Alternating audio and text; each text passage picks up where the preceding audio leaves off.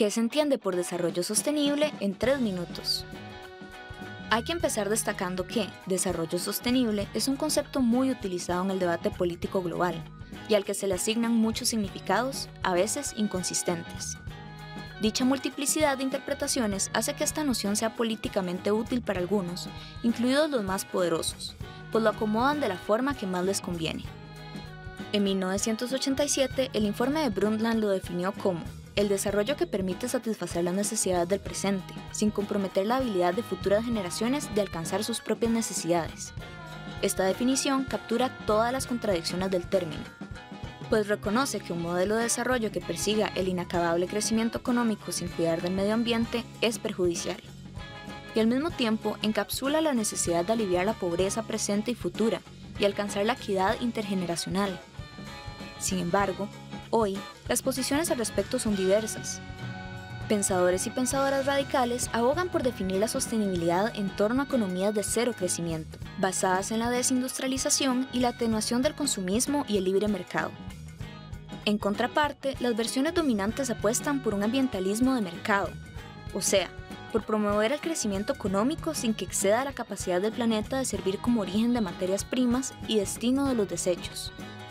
Esta última es la idea del desarrollo sostenible que se consolida en la Conferencia de Naciones Unidas sobre Ambiente y Desarrollo, celebrada en Río de Janeiro en 1992.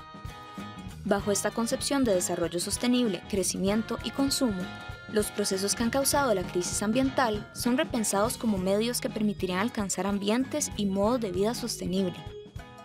Por ejemplo, en lugar de apostar por reducir el consumo de recursos promoviendo el transporte público de calidad, nuestra sociedad elige seguir produciendo vehículos privados que usen combustibles más limpios que el petróleo.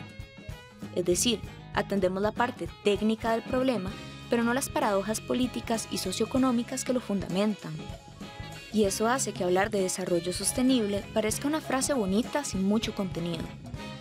Al menos que le devolvamos significado, tras hacernos las preguntas difíciles que nos debemos hacer, como ¿Es realmente posible promover la sostenibilidad sin retar al capitalismo basado en la extracción y movilización de recursos naturales que alimentan la economía expansiva? ¿Existe desarrollo sostenible donde hay pobreza, concentración extrema de la riqueza y desigualdades sociales sin atender?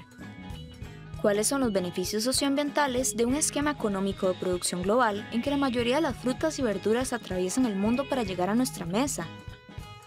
Responder a estas preguntas requiere que cuestionemos al sistema, lo mismo que a las comodidades que nosotras y nosotros mismos disfrutamos, y que hemos llegado a ver como naturales y cotidianas, pero que no son tan sostenibles tras analizarlo.